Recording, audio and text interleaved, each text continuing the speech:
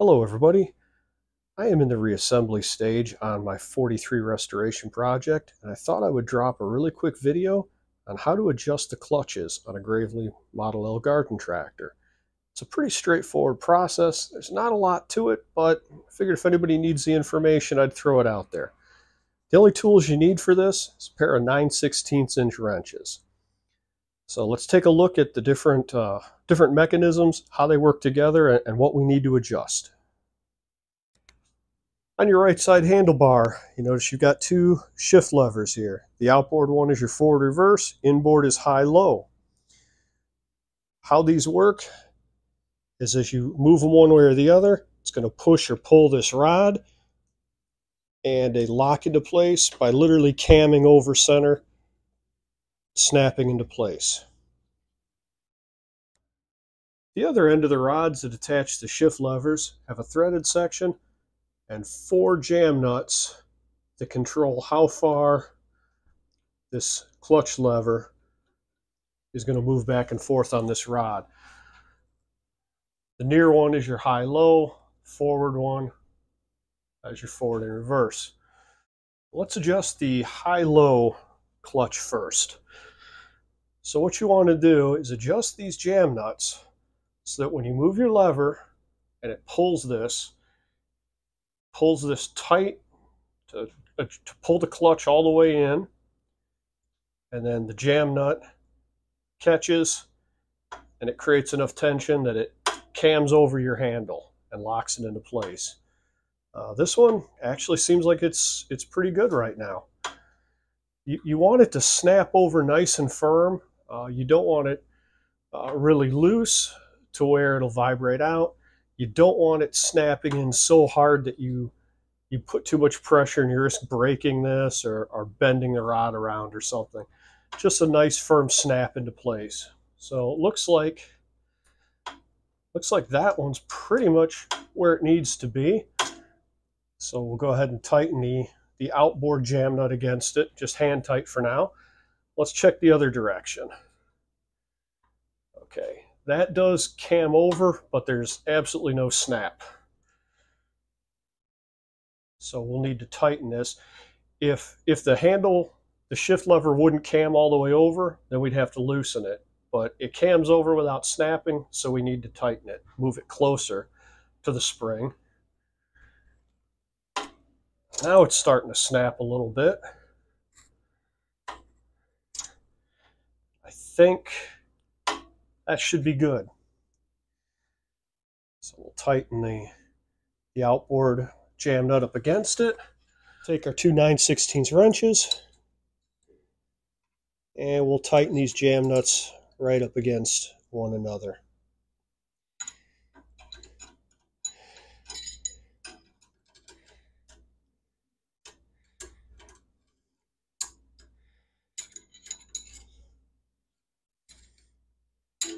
Sometimes this can be a little tricky because there's not a whole lot of room to work.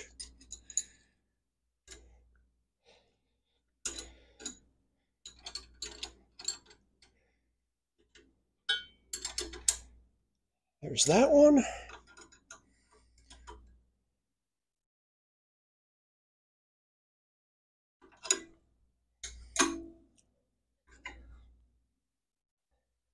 Give ourselves a little more room to work with here.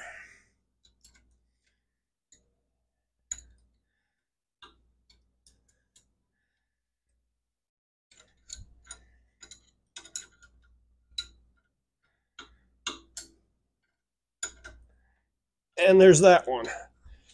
So we'll test it again. Snaps into high, snaps into low.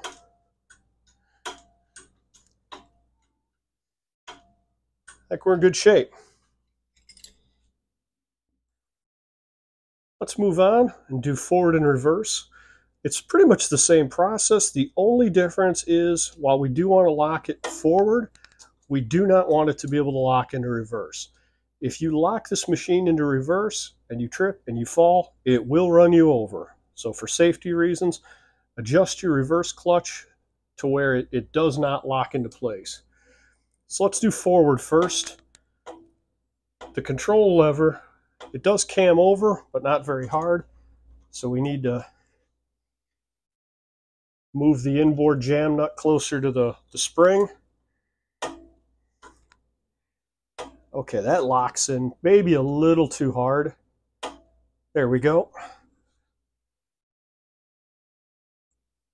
So we just snug that up for now. Now for reverse, we do not want the control lever to be able to, to cam over and lock into place. So right now it'll cam over. That's not good. So we're going to keep tightening this up. Okay, that won't cam over. I want it a little tighter. There we go.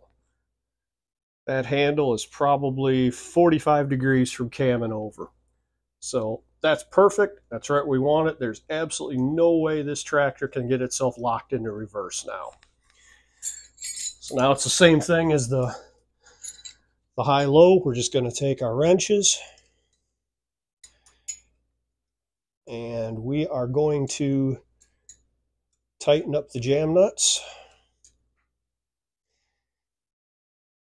Get them good and snug so they won't work loose.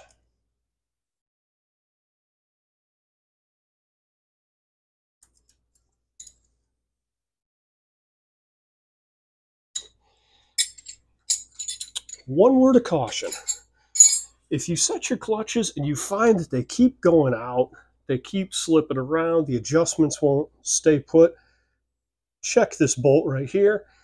If this bolt isn't nice and tight, this lever here will slip around on your shaft. So always double check these just to make sure they're snug. Otherwise, you could end up chasing your tail on this whole process back and forth. So that's all there is to it. That is how you adjust the clutches on a Gravely Model L garden tractor. Thank you again for watching. Please like and subscribe, and I will see you on another episode.